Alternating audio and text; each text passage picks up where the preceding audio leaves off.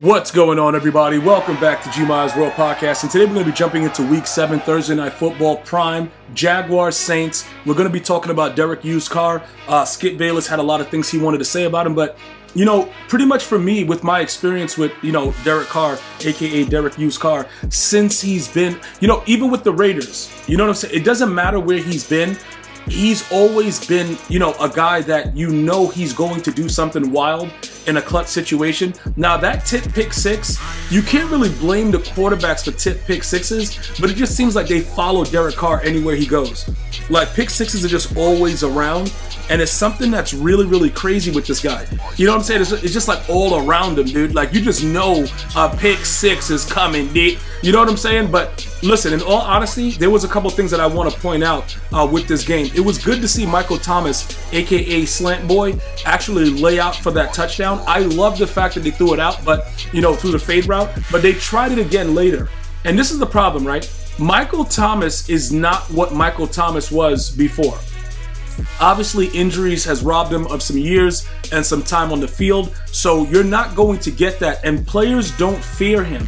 You know what I'm saying? Like, even when he was really, really good, he was taking slants for six. Now, I know a lot of people from New Orleans are to go raging. You guys are always raging 504, this and that. You know, oh, bro, he was really good. He wasn't, though. You know what I'm saying, bro? Like, when it comes to, like, the top tier, now, again, when you could take a slant that was thrown by Drew Brees for six, you know what I'm saying, bro? Like, he, Drew Brees, later in his career, had a noodle arm.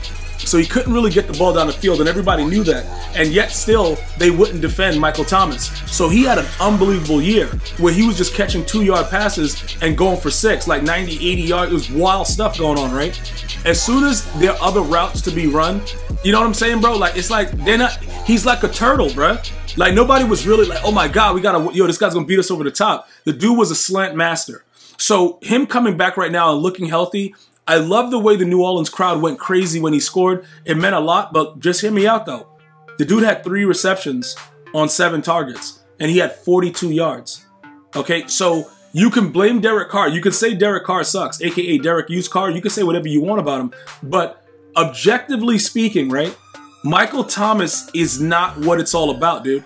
Olave is seriously the future of the franchise, and he had 15 targets and only caught seven passes. So you got to think about that. Like people are not really understanding. Dudes out here are running around screaming out 504, and Olave had 15 targets and caught seven. Kamara, the running back, had 14 targets. He caught 12. So look, you can say, you know, Derek Carr is not the most accurate quarterback. You could say a whole lot of stuff. Because if we look at his stat line, right, 33 of 55. He had 301 yards, Derek Carr, aka Derek Used Car.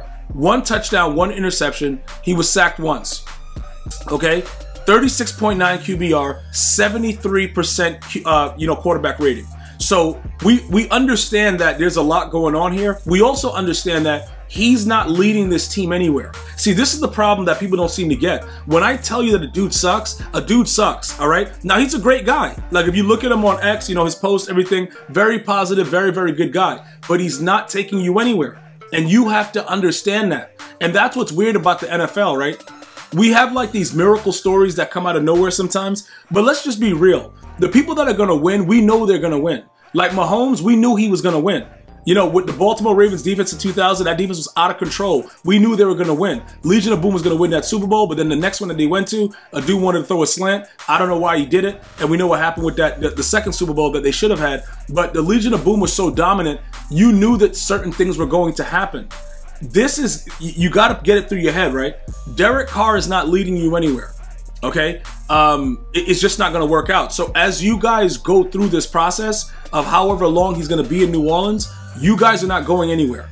I just want to be very, very clear, upfront, honest. Like I don't want to be beating around the bush. Like, yo, it's a chance, not a chance. All right, you guys are three and four and one and two at home. You suck.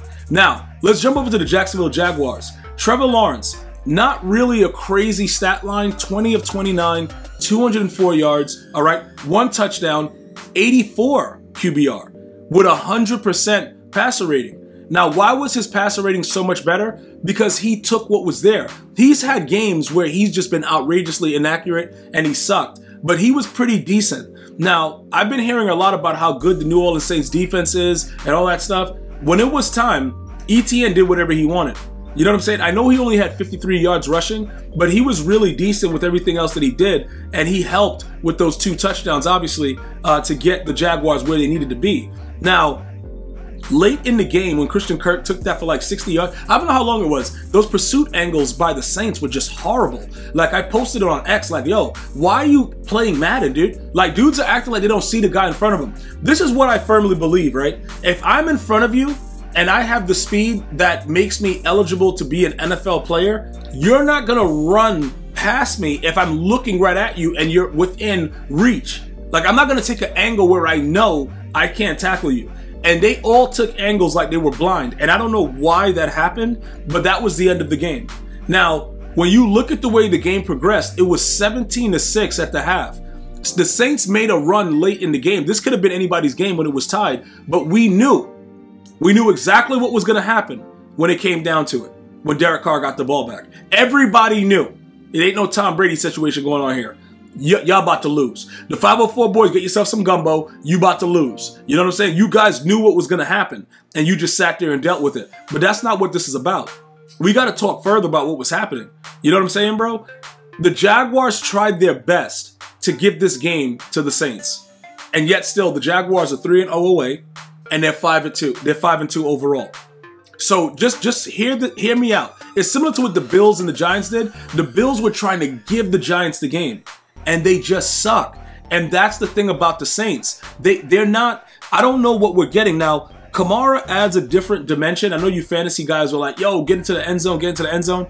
It, you know, he got a two point conversion, but that's ultimately you know all he got. He didn't really get anything else outside of that. He had the 12 receptions for 91 yards, but again, I don't know what people are expecting from the Saints and what you guys would like me to say about them, but I got to tell you the truth. Now, look, Baker Mayfield and the Buccaneers, right? everybody laughed about the fact that he was a starting QB. Remember what's going on in that division. All you Saint fans were telling me that the Bucs are the worst team in the division in the South over there.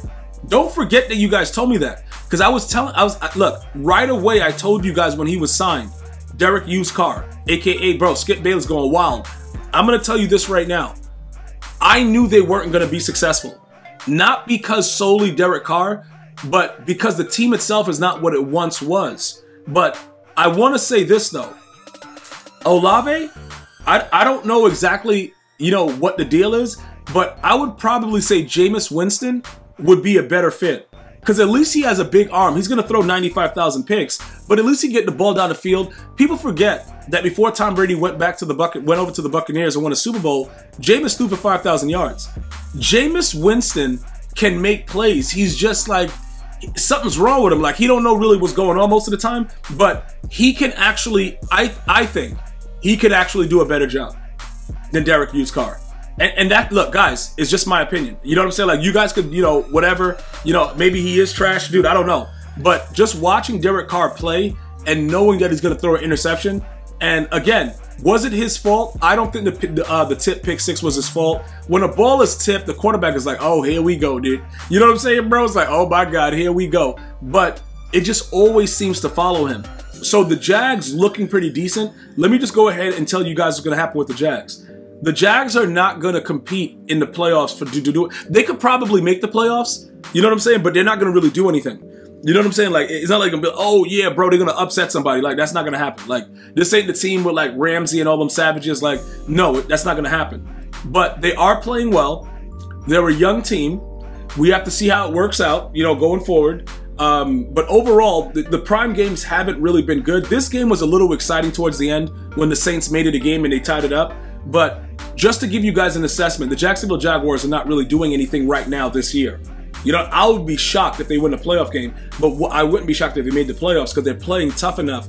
But as far as what they're going to do, these two teams, I don't know what they're doing, to be honest, but kudos to the Jaguars for beating a, a, a lesser team than them and handling business. It was really nice to see. And hopefully you guys enjoyed the game, bro. And hopefully you guys are enjoying the podcast and uh, what we're bringing you here at Gmias World Podcast. Thank you guys so much for joining us. You guys have a beautiful and blessed day. I'm going to see you guys and girls next time.